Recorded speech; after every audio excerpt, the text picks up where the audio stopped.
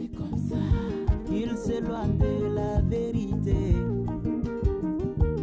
C'est comme ça qu'il demeure.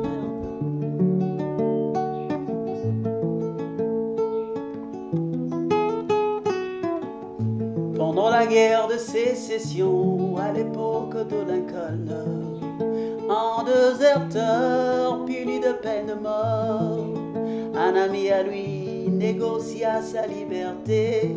Sur un bout de papier, on signa qu'il fut gracié. Ngolu et Jalingolu, Namoto Oyo, Andimi Yango, Loko Langolu, Ngolu et Jalingolu, Namoto Oyo, Ayami Yango, Loko Langolu. On annonça la nouvelle aux détenus. Mais ces derniers rejeta cette grâce. Ainsi le jour suivant, il fut exécuté. En rejetant la grâce, il obtint la disgrâce. Ngolu et Jalingolu, Namoto Oyo, Andimi Yango, Loko Langolu, Ngolu et Jalingolu, Namoto Oyo, Ayami Yango. Jésus-Christ le Messie vint sauver Israël. Mais ces derniers rejeta cette grâce. Jésus-Christ mon sauveur, veut te sauver de tes péchés. À toi de croire ou de rejeter. Namoto Oyo, et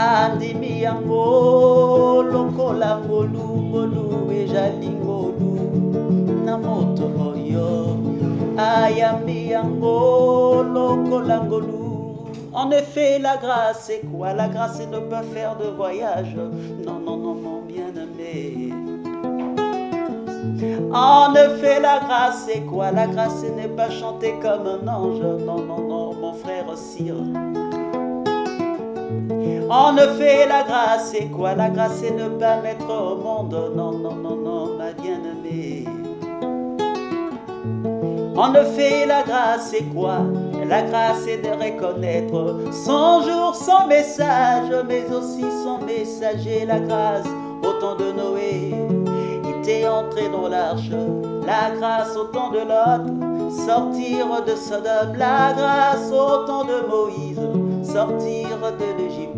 La grâce à notre temps est de recevoir le message dans son entièreté, repoussant nos sentiments. Mon bien-aimé, l'as-tu reçu? Ngolu et Jalingolu, Namoto Oyo, Andimi Yango, Lokola Ngolu, Ngolu et Jalingolu, Namoto Oyo. Ayami yango lokola ngolu Malachi 4 la grâce en ces temps. Luc 17 30 la promesse de ce temps. Apocalypse 10 la grâce en ces temps. Luc 17 30 la promesse de ce temps. Ngolu et Jalingolu Namoto Oyo. Andimi yango lokola ngolu ejali ngolu na moto oyo ayambi yango lokola ngolu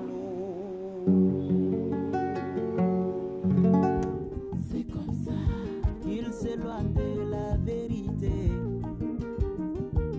C'est comme ça. Dix ans déjà, bah, euh, puisque nous parlons de 10 ans de, de carrière professionnelle, aujourd'hui nous sommes en 2019, donc euh, comprenez que euh, l'histoire a commencé en 2009, 2009, 2019, qui fait 10 ans de carrière professionnelle. Bien évidemment, avant je, faisais la musique mais de façon amateur, puisque ma première chanson je l'ai écrite, j'avais euh, 11 ans, j'étais à l'école primaire, voilà, à Montborvé, je ne l'ai jamais chanté, mais un jour je, le ferai. Et aussi, euh, quand j'étais euh, adolescent, j'avais créé un, un chœur de- d'enfants à laquelle on chantait, on les appelait les aigles de Dieu, qui était composé essentiellement de, mes amis. hein.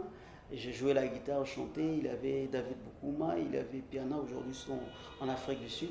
Et voilà, ce n'est qu'en en 2009 que je vais commencer ma carrière professionnelle. Alors, tout est parti de ces concerts que j'avais joué le 31 mai. Euh, j'avais joué un, concert parce qu'avant 2009, je faisais la musique euh, juste pour le faire. D'ailleurs, je, je ne croyais pas à ce que je faisais. Ce sont des amis, euh, les gens de l'église qui me disaient bah, tu, chantes bien, mais moi-même, je ne croyais pas à ça. Mais quand j'avais organisé ces concerts le 31 mai, d'abord, je vous donne l'historique. Et il fut un, un, monsieur qui était directeur de marketing d'une d'une société de, télé, télé, télécommunications. Et une fois, il était passé là où je chantais et il était content de ce que je faisais. Alors, il me demande de faire une chanson pour la société de, qui, qui, était sous sa tutelle. Quoi. Euh, je n'avais pas voulu faire cette chanson. Alors, il me propose qu'il produise un concert. Ah, c'est comme ça que l'idée était venue de ces concerts au 31 mai. Alors, j'arrive à la salle et à ma grande surprise, la salle est archi-comble. C'était plein de gens. Alors, je me dis, bah, c'était un concert à laquelle on n'avait pas fait de publicité à la télé, mais il y avait beaucoup, beaucoup de gens qui étaient venus. Et l'ambiance était tellement bonne qu'à la fin du concert, je me suis dit, ça y est, je fais la musique de manière professionnelle. Alors, je vais démissionner à mon boulot je faisais. Je me suis dit, je vais faire la musique professionnelle. Et de là, je quitte Kisangani pour Boutembo, où je vais rencontrer les faucons du ciel. On va faire un single avec lui. de Boutembo, j'arrive à Bounia. Et de Bounia, voilà, je viens à Kinshasa. C'est ça l'histoire, quoi. Mais dans le début, comme je dis souvent, euh, j'ai commencé à chanter à l'éternité, ça fait des millions d'années. Hein. Ça fait des millions d'années. Mais de manière concrète, ici sur Terre, je pense à mon papa qui m'a mis sur le, sur, sur, sur le rail toutes les fois qu'il voyageait, euh, qu'il venait ici à Kinshasa, parce que là j'étais à Kisangani, je suis de Kisangani, ici Joël Ngoy de Kisangani, il m'amenait toujours de jouer euh, qui avait trait à la musique.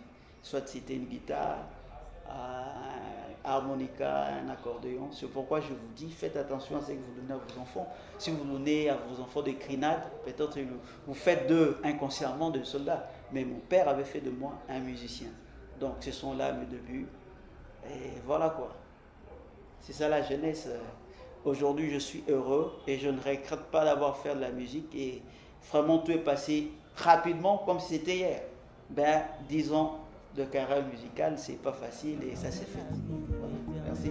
Que le Seigneur vous bénisse. C'est comme ça qu'il s'éloigne de la vérité.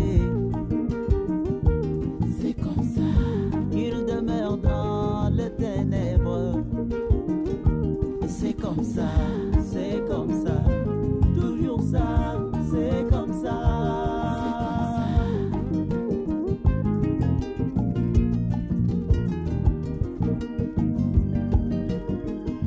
Personne n'est responsable de la mort de ce moineau qui se sont fracassés la tête avec lui.